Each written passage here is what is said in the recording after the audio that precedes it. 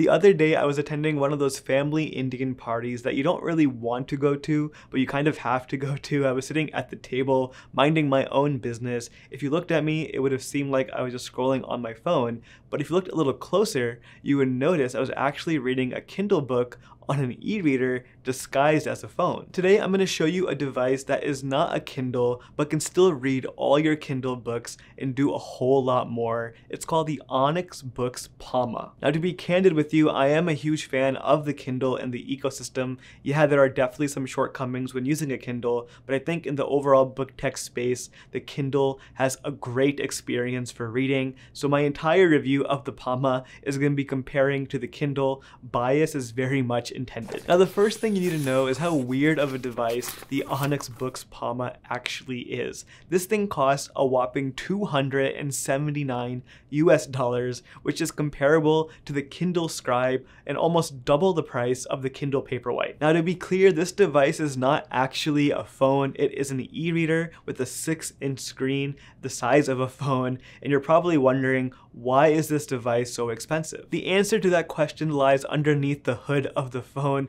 This thing is fully specced out. It has an octa-core processor and 6 gigabytes of RAM, which is insanely overkill for an e-reader. On top of that, we also have 128 gigabytes of internal storage, as well as the ability to expand that storage with an SD card slot. And they also even included a camera on the back of the device. Look, I've got to say the Palma is one of the fastest e-readers I've ever used, but having this much hardware in the device at this level makes no sense for an e-reader. I really think it would be much more appealing if they cut all of that basically in half, got rid of the camera, got rid of all that storage that will never be used for people reading books. If they just really lowered the bar a little bit, they could have gotten the price down and made this device way more accessible for more people. Another thing that is worth mentioning is Onyx as a whole is a company based out of China. So if you live here in America, getting a device from them is not as easy as getting something off of Amazon Prime. They do actually have an Amazon store, but not all of their products are available and their inventory does fluctuate depending when you're buying it. Next, I want to talk to you about the unique reading experience of the Palma.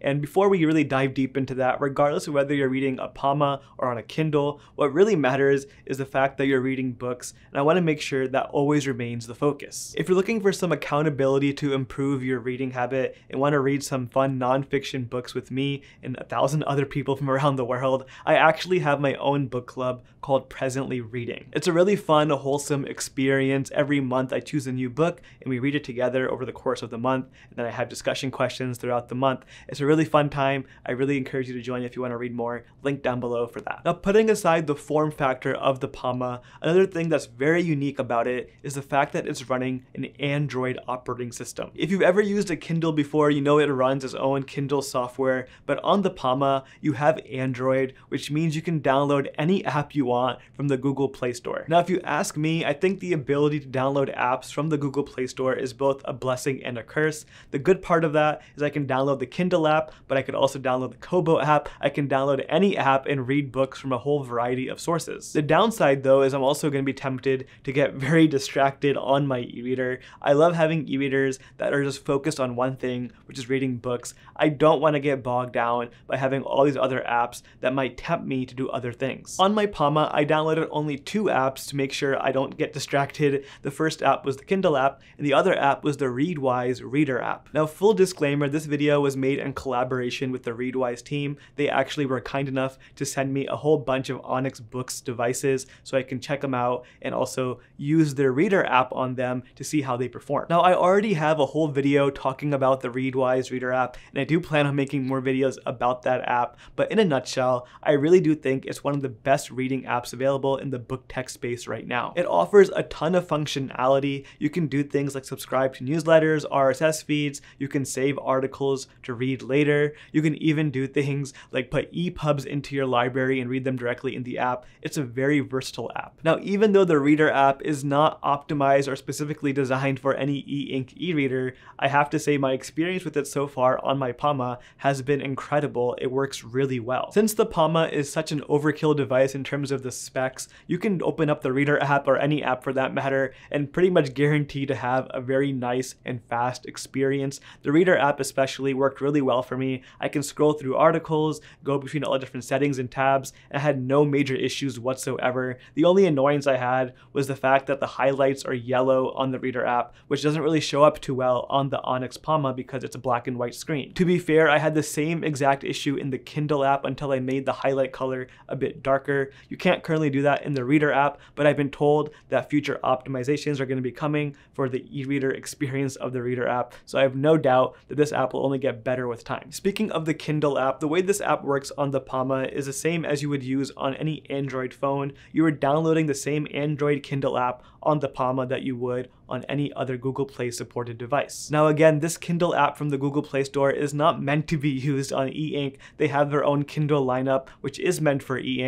but even though it's not optimized for e-ink, it does work very well from my experience. Once you go through and fiddle with some of the settings, you can turn off things like the page turn animations, adjust the size and margins to your liking, and it works really well. With all that being said, I do think there's one major issue with the Kindle app that really, really annoys me whenever I read on it on my Palma, and that is accidental swiping. Because the Palma is in the shape of a phone and the Kindle app is very sensitive to where you swipe on the screen, I just find myself swiping in the wrong place way too often. For example, if you swipe anywhere in the middle of the screen, you're gonna open up the Kindle book menu, which is something I'm doing all the time by mistake. Also, there have been other times where I'm swiping to turn the page and somehow I swiped in the wrong place and the whole app just closes out or something like that because there's also shortcuts built into the Palma software that will close the app out and bring you back to the home screen that sometimes conflict with the Kindle app. All of this just gets really confusing and if it's the first time you're using it, you really gotta sit down and make sure you figure out what you're doing. When it comes to highlighting, I find myself struggling a bit more than I normally would with a regular Kindle e-reader. I have to really be precise with where I'm highlighting on the screen.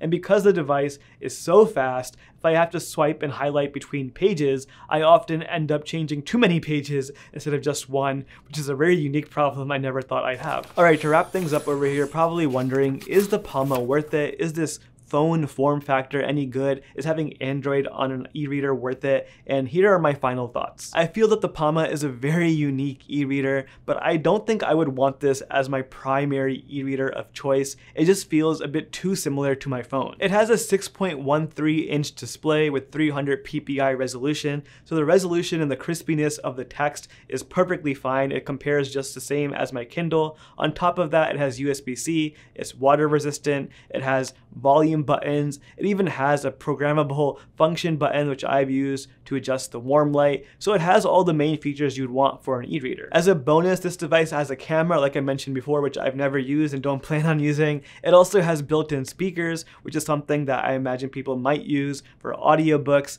I don't like the back of the device. It has this weird textured feeling to it. It kind of makes it feel a bit cheaper and lower quality than it could have been. But again, the device as a whole has everything you would need. The two main selling points of the Palma is having a very functional e-reader in a very portable form factor. But again, I think my phone fulfills this need even better when I'm traveling out and about. I just don't see myself carrying this Palma with me when I'm in the line in the grocery store or going out for a quick drive somewhere. I just don't think I would carry around a second device at the same size as my phone. If I really want to read comfortably, I have no problem pulling out a Kindle or a larger size e-reader from my backpack, or if I'm at home, I would want something more comfortable as well. This device is a very specific size and use case that I just don't think I'd ever need. I guess the only time I really found this to be useful was at that party when I looked like I was on my phone, but I had a more comfortable e-reader to read on. So I guess that was one benefit for it. If you found this video useful, you're probably also going to enjoy this other review that I did for something called the Pocketbook Verse Pro, another Kindle competitor, which also has some unique features to it. Link for that video on the screen right now. Thank you so much for watching. I'll see you next time.